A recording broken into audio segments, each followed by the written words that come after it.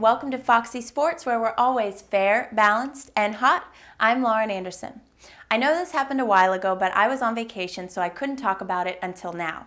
But I just want to go on the record and say that despite what all the experts say, I think that my national champion Florida Gators had the best signing day this year.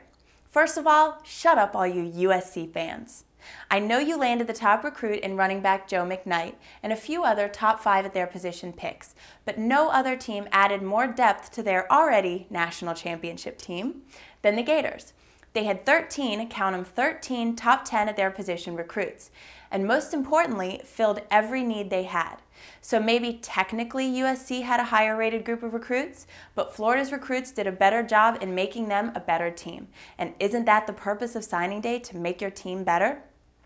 Now, I also want to mention that I think Notre Dame did a great job of improving their team and would have done an even better job had they not lost so many players at the last minute. Now, their biggest problem was that they just had so many holes to fill, as anyone who watched them last season can tell you. Still, with a huge mountain to climb, they came up just a bit short on defense. But I really like their chances next year, especially with top rated quarterback recruit Jimmy Clausen.